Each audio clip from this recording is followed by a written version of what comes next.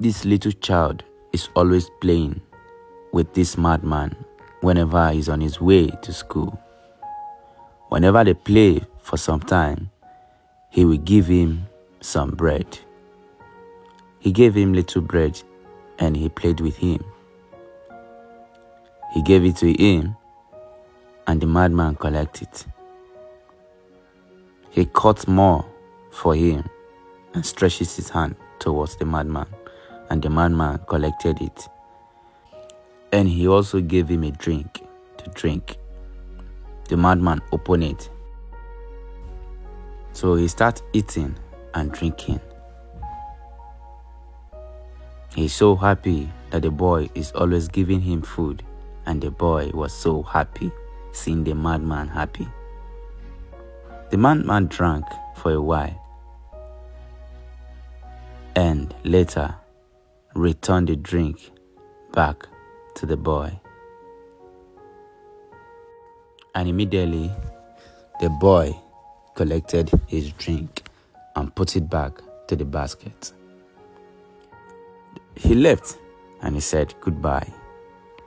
The madman also said goodbye, so they keep waving each other until they didn't see themselves again. It is another day of school.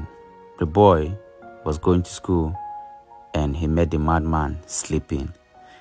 He decided to walk slowly for the madman not to notice. He picked an object and then started using it to touch the madman. The madman thought it's ant or something and then he did it again. And the madman stood up.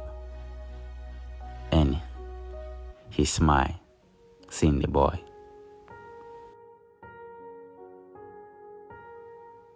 The boy dipped his hand in his basket and gave him a drink, and the madman was so happy. And then the boy says goodbye. He left for school. And the madman was so happy with the drink. He waved the boy and tried to open the drink. Hold your ear. I heard that you always play with one madman. Are you getting me? Please look.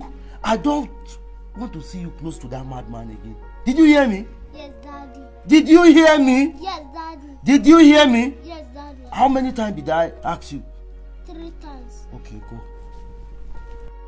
So the father warned him not to go close to the madman anymore, and the boy left for school. On his way, he found out that the madman is not there. He walked towards where the madman always sits, and then he sat to wait for the madman.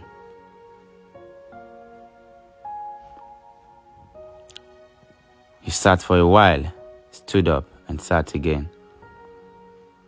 He kept waiting for the madman.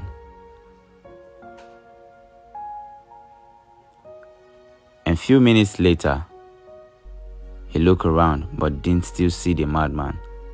And then he stood up and he left so sad to school.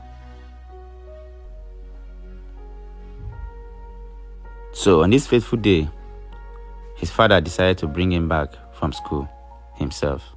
And a man with a gun told him to bring the child, pointing gun at him. He dropped the child, and the kidnapper took the child and told him to move without looking back. The man agreed and started moving. And then a stick hit him from the back and his gun fell. The man looked back and see that he's on the floor.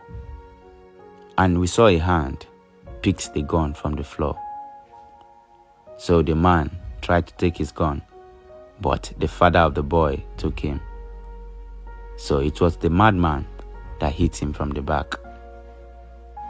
So you see in life, everyone is useful. Nobody is useless. So thanks for watching this video.